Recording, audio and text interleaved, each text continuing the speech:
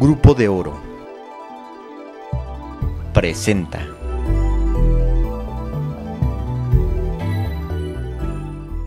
El secretario de Turismo del Gobierno del Distrito Federal, Carlos McKinley, aseveró que uno de los aciertos que tuvo la capital del país para contrarrestar la percepción de inseguridad entre los visitantes fue que además de aplicar medidas de contención policial, todas las áreas del Gobierno del Distrito Federal trabajaron de forma coordinada en pro de la industria turística. En la Ciudad de México durante muchos años, eh, eh, en la Ciudad de México el turismo prácticamente nunca sufrió temas de inseguridad, pero nuestras encuestas decían no tuve ningún problema en la Ciudad de México, pero al hacer la evaluación cualitativa y le preguntabas al turista ¿y qué quisiera?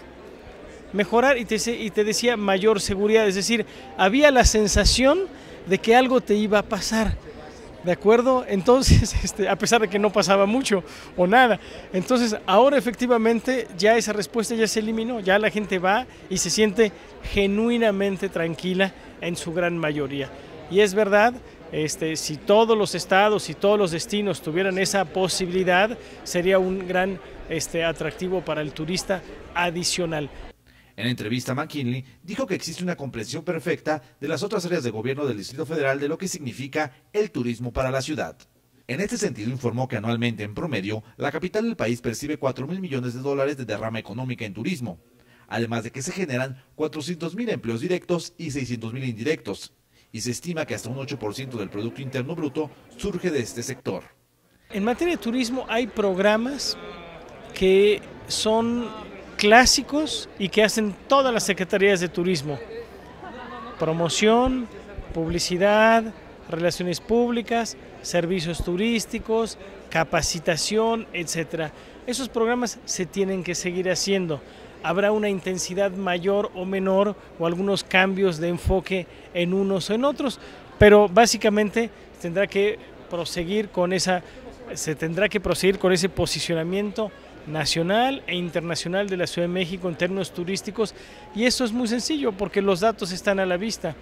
4 mil millones de dólares de derrama económica por año en materia de turismo, 400 mil empleos directos, 600 mil empleos indirectos, más de 7, probablemente 8% del Producto Interno Bruto. Así es que obviamente este, sabemos que el próximo gobierno de la Ciudad de México tiene muy en cuenta estos elementos, pero a él le tocará ya definir la intensidad, el calibre de las acciones, la dimensión de las acciones.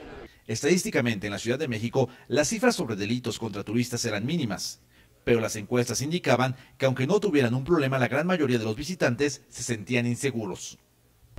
La Ciudad de México es una ciudad muy segura, pero atención, no solo si la comparas con otros destinos más inseguros,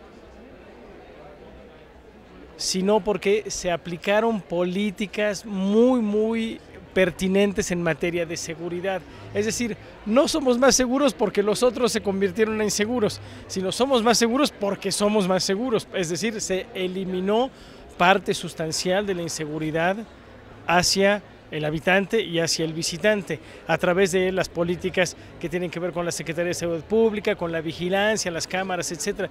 Y efectivamente, y eso es una gran o un gran incentivo para el turismo decididamente.